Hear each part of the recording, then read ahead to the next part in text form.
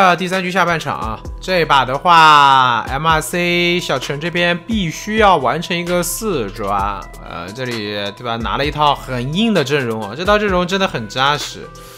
前期只赢一手上来撞脸冒险家，好吧，只赢一手上来撞脸冒险家，所以他这边的话应该是要带一个狩猎本能来找冒险家的，只有这个可能性啊，找到冒险家，那还有往下那个写剧本的一个可能性。你上来抓个守墓，抓个佣兵，基本上没有可能。抓祭司嘛也不行，抓祭司这边对吧？可以选择看情况卖掉，然后冒险家这边挖树叶把密码机全部点亮的。嗯，抓祭司有可能，但是可能性不是特别高啊。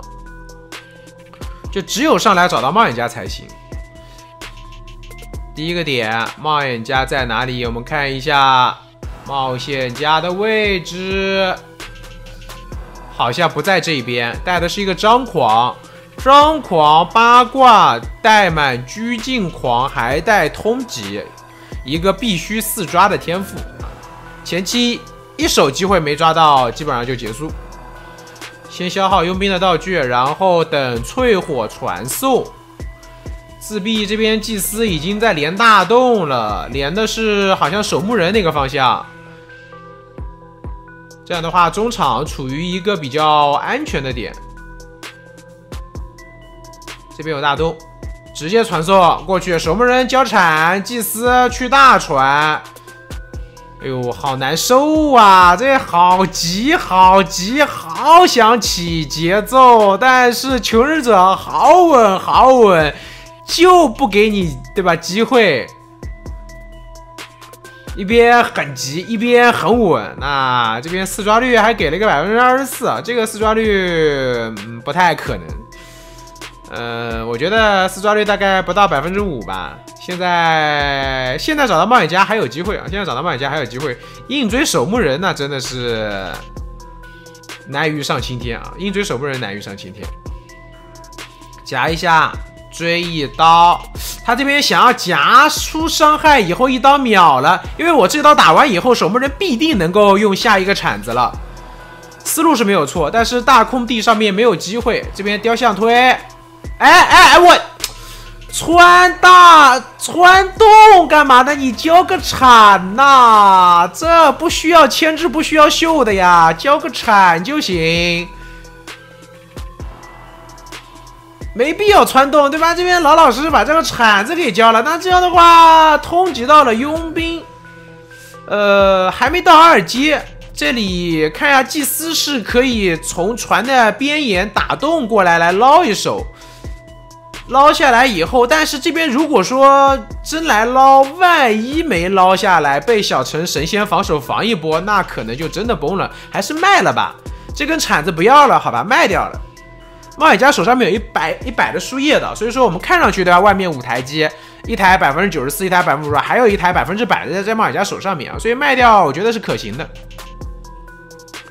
这里的话，各种那个雕像来干扰佣兵的机子，守墓人过半，这边祭司看祭司他记不动了，再过来回来找，好的，祭司这边还是想捞一手，还是想捞一手。可能这边求者有计算他的一个雕像量，因为刚刚在佣兵那边交了非常多的雕像，所以这边防守的雕像是不多的。能捞下来吗？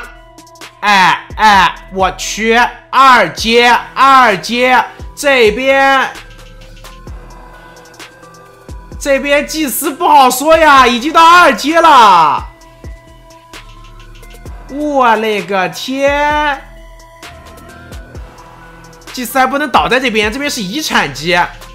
这边是个大遗产，一个洞打走还行还行还行，这波拉走就行啊，反正防防御手防御手反穿。呃，局势上面来看，虽然说小陈这把赢面有，但还没到一定四抓的时候，还没到一定四抓的时候，一波雕像推倒，嗯，这波想来救嘛也没错，对吧？因为冒险家啊，不，因为这守墓人手上面还有一根铲子，这个铲子是真的不想浪费。冒险家这边找到，好打了一刀冒险家。佣兵这边的话被迫要交护臂过去，赶紧救人。打了一刀冒险家，然后回身过来打防守。外面的话两台机子，两台机子的话，船上面那台百分之应该是百分之六十三的那一台，外面还有百分之五十几。冒险家这边的话有百分之十一的输液，救下来。嗯，能不能秒掉这个祭司？能秒掉这个祭司？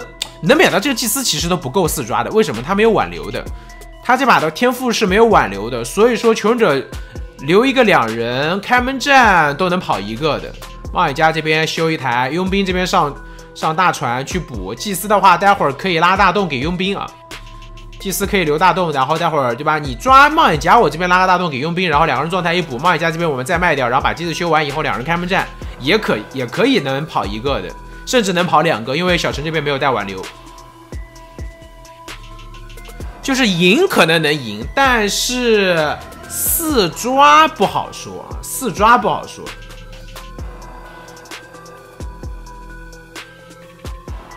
嗯，局势上来讲的话，现在这边哎呦，机子直接点亮了。这边因为没有干扰到机子啊，他这边的话，祭司拉开以后，小陈这边没有起一个快速击倒的节奏，那这样的话应该是趋向于一个平局啊，趋向于一个平局。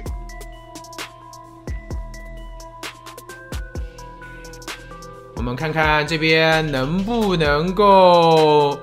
打一个三抓吧，四抓想象不到了，四抓已经盘不到了。